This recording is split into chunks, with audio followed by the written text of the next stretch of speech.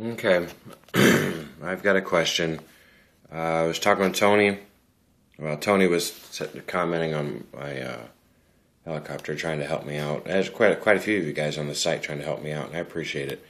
Um, I was talking about getting my uh, getting my tail servo uh, 90 to the linkage. Um, and uh, by doing that in the sub trim uh, in rate mode.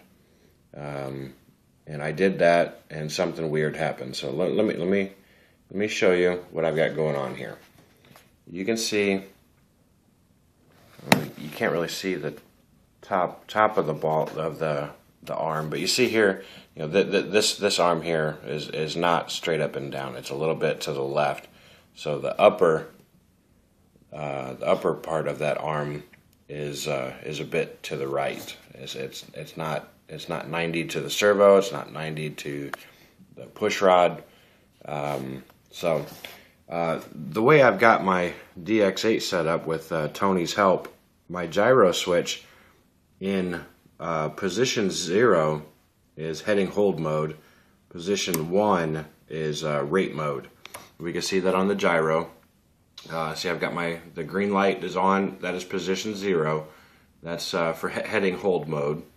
And I flip the switch into position one, and the red light comes on. That's heading hold mode. Okay. So that that being that, okay. I, so now I, I am in rate mode. We'll go to my radio here,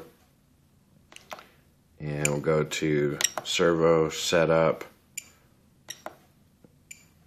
sub trim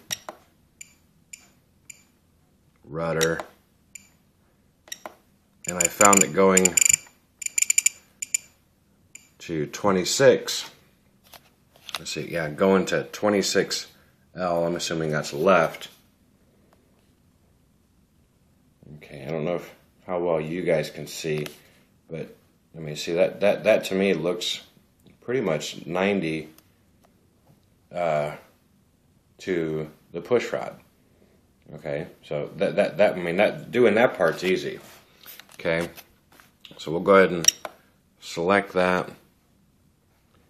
Um, so now that, now that I've got that 90 to the linkage, if I flip it back to heading hold mode, going back to zero position, now the pusher, uh, the servo arm is pushed to the left. The upper part is pushed to the left, and the bottom is to the right. Now, you remember before I made that before I made that adjustment in the sub trim, the bottom arm was actually to the left, and the upper was to the right. So because I trimmed that out, and I, moved this to the left, now the whole thing is to the left. Um, it's it's it, it's not 90 degrees to the um, to the push rod anymore. Um, do you guys have any idea what's going on, or you know, possibly is there something I'm missing? Uh, more than likely. So I appreciate you guys' help. If you give me give me a shout about that. Um, I'm again, I I am at a loss. I have no idea what to do here. Thanks.